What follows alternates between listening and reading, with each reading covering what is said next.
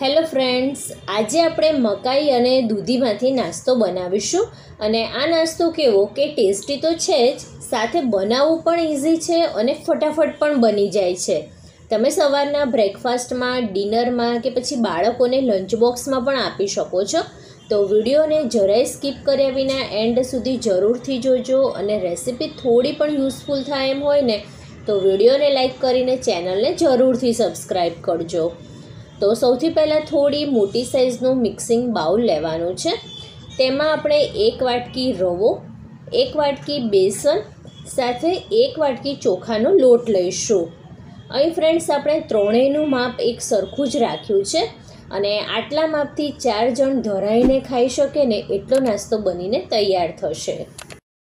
સારી રીતે મિક્સ કરી લેવાનું અને પછી દોઢ વાટકી ખાટી છાશ ઉમેરવાની છે. તમે ખાટી છાશને બદલે જો તમારી પાસે ખાટું દહીં હોય, તો એક વાટકી લઈ શકો છો. પણ જે પણ લો, એ ખટાશ પડતું થોડું હોય એવું લેવાનું. તો જ નાસ્તો સારો એવો બનીને તૈયાર થશે. થોડું થોડું પાણી ઉમેરતા જઈને મીડિયમ થીક બેટર તૈયાર કરવાનું છે. અને આ બેટરમાં કોઈપણ જાતના લોટના ગઠ્ઠા ના રહી જાય, એ વાતનું પણ ખાસ ધ્યાન રાખવાનું. તો અત્યારે મેં આ રીતની થીક બેટરની કન્સિસ્ટન્સી રાખી છે. પાંચેક મિનિટ જેટલું રેસ્ટ આપીશું, કારણ કે આપણે બેટરમાં રવો લીધો છે અને ત્યાં સુધી આપણે બીજી પ્રિપેરેશન કરી લઈએ. તો એક આખી મકાઈને છીણી લીધી છે.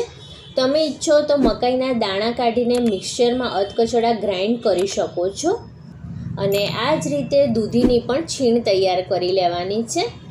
હજી ફ્રેન્ડ્સ આમાં તમે ગાજર, બીટ, કોબીજને પણ છીણીને બેટરમાં ઉમેરી શકો છો.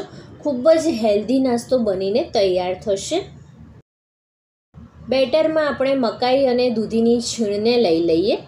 સાથે જ તીખાશ માટે ચાર લીલા મરચાંને ઝીણા ઝીણા સમારીને લીધા છે. થોડા લીલા ધાણા. સ્વાદ અનુસાર મીઠું ઉમેરીને બેટરમાં સારી રીતે મિક્સ કરી લેવાનો.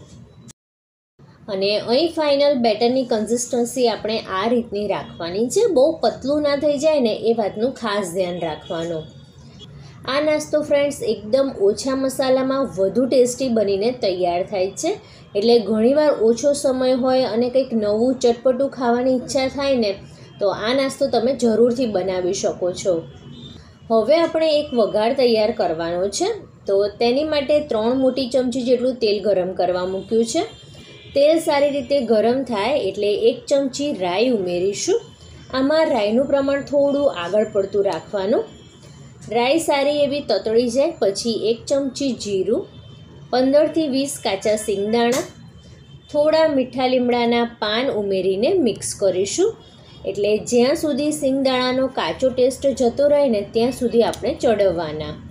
બે ચપટી હિંગ એક ચમચી સફેદ તલ ઉમેરીને વઘારને સારી રીતે સાંતળી લેવાનો. અડધી ચમચી હળદર ઉમેરવાની છે અને લાસ્ટમાં અડધી ચમચી લાલ મરચું ઉમેરીને વઘારને બેટરમાં ઉમેરી દેવાનું.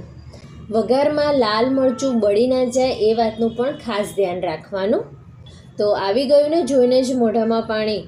તો અહીં ફ્રેન્ડ્સ જો તમને મારી રેસીપી જોવી ગમતી હોય અને હજી સુધી જો મારી ચેનલને સબસ્ક્રાઈબ ના કર્યું હોય તો પ્લીઝ મારી ચેનલને સબસ્ક્રાઈબ કરજો અને બાજુમાં આવેલા બે લાઇકનને પણ જરૂરથી પ્રેસ કરજો, જેથી આવનારા નવા વીડિયો નોટિફિકેશન તમને મળી રહે. તો અહીં આપણું ઇન્સ્ટન્ટ હાંડવાનું બેટર બનીને તૈયાર છે. હવે હાંડવાને અંદરથી સોફ્ટ બનાવવા માટે એક પેકેટ ઈનો લીધો છે અને એક્ટિવ કરવા એક ચમચી પાણી લઈને એક જ ડાયરેક્શનમાં મિક્સ કરી લેવાનું. એટલે અંદર સારી એવી હવા ભરાશે, જેને કારણે હાંડવો ખાવામાં સોફ્ટ બનશે અને અંદર સારી એવી જાળી પડશે. હવે હાંડવો બનાવવા માટે એક પેન લીધું છે અને પેન મીડિયમ ગરમ થાય ને એટલે એક ચમચી જેટલું તેલ સ્પ્રેડ કરી લેવાનું. થોડા સફેદ તલને આ રીતે સ્પ્રિંકલ કરવાના અને પછી બેટરને સ્પ્રેડ કરી લેવાનું. આમાં તમને જો થીક હાંડવો પસંદ હોય ને, તો વધારે બેટર લેવાનું અને જો પતલો હાંડવો પસંદ હોય, તો એ પ્રમાણે ઓછું બેટર લઈને સ્પ્રેડ કરી લેવાનું. ફરીથી ઉપર સફેદ તલ સ્પ્રિંકલ કરીશું. ટોટલી ઓપ્શનલ છે, પણ સફેદ તલ આ રીતે બેટરની ઉપર અને નીચે ઉમેરવાથી હાંડવો દેખાવમાં ખૂબ સરસ લાગશે. લો ટુ મીડિયમ ગેસની ફ્લેમ ઉપર ચડવા દેવાનું અને પાંચેક મિનિટ પછી જોઈએ ને તો સાઈડમાંથી તો બેટર ડ્રાય થઈ ગયું છે, પણ હજી વચ્ચે બાકી છે. તો ફરીથી ઢાંકીને બેથી ત્રણ મિનિટ જેટલું ચડવા દઈશું. અને ત્રણેક મિનિટ પછી ફરીથી જોઈએ તો હાંડવાની ઉપરની સાઈડ એકદમ ડ્રાય થઈ ગઈ છે. તો તેને સાચવીને સાઈડ ચેન્જ કરી લેવાની. એકદમ આસાનીથી સાઈડ ચેન્જ થઈ જાય છે. જરાય તમારો હાંડવો નીચે ચીપકશે નહીં, કારણ કે આપણે નીચે પહેલાં તો તેલ એડ કર્યું હતું. અને નીચેની સાઈડ પણ આપણે પાંચેક મિનિટ જેટલું ચડવા દઈશું. તો આ રીતે બંને સાઈડ લાલાશ પડતી ક્રિસ્પી થાય ત્યાં સુધી આપણે ચડવવાનું તો આ હાંડવાની રેસીપી ફ્રેન્ડ્સ તમને થોડી પણ ગમી હોય અને તમને યુઝફુલ થાય એમ હોય, તો વિડીયોને લાઈક કરીને ચેનલને જરૂરથી સબસ્ક્રાઈબ કરજો. હાંડવાનું ઉપરનું પડ સરસ એવું ક્રિસ્પી તૈયાર થયું છે અને અંદર એકદમ સોફ્ટ મોઢામાં મૂકતા જ ઓગળી જાય ને, એવો હાંડવો બનીને તૈયાર થયો છે.